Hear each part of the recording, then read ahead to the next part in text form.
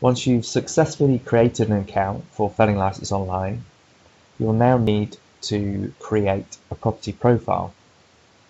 So first of all, log into your account using your username and password. Once you've logged in, you'll land on the home page. This home page will be what an agent home page will look like. The owner's home page will look slightly different in that this icon, Manage Owners, will not be there.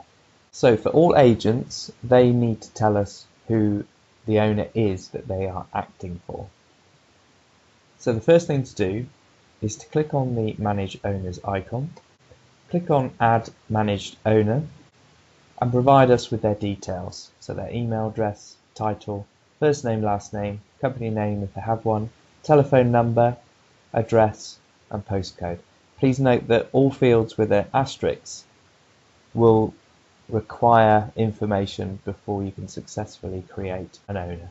At this point, you will need to provide us with the agent authority form, and you could do that by first of all saving your agent authority form on your computer and then browse for it by using this browse button.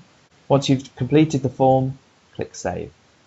So if I want to check my managed owners, I just click on this icon and there'll be a list of them.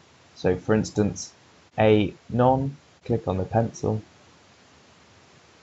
and I can edit their details. Also remove the agent authority form and upload a new one if required. So for those of you who have an agent account, once you've told us who the owner is, you'll then be able to proceed to add property. Next, we need to add a property. Now both agent account holders and owner account holders will need to do this.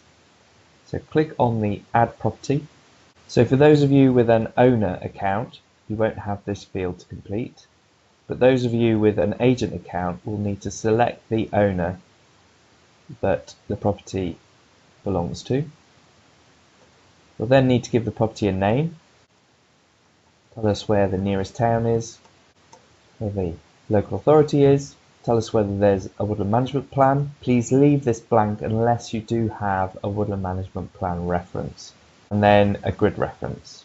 The grid reference should be made up of two letters and six figures. Click Save. Once you've created your property, Felling Licence Online will take you to Map of England. At this point, create your compartments.